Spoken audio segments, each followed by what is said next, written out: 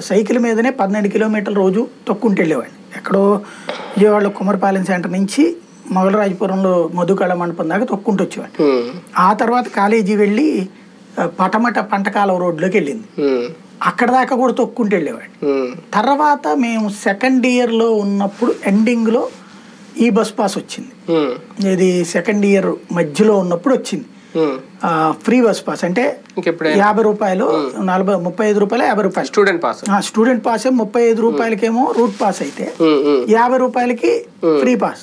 ఇదే ఎక్కడికైనా తిరగచ్చు. ఎప్పుడైనా వెళ్ళొచ్చు. దాంతో ఏం చేసేవాళ్ళం?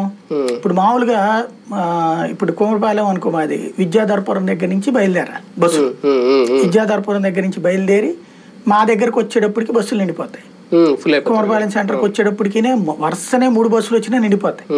ఇక అట్లాగే నుంచుని పోవాల్సి వచ్చింది. అలాగే మాది పట్టమటి సెంటర్లో కాలేజ్ అంటే లేదా మొగలరాయపురంలో కాలేజ్ అంటే అవి ఎక్కడి నుంచి రావాలి? ఆటో నగర్ నుంచి రావాలి.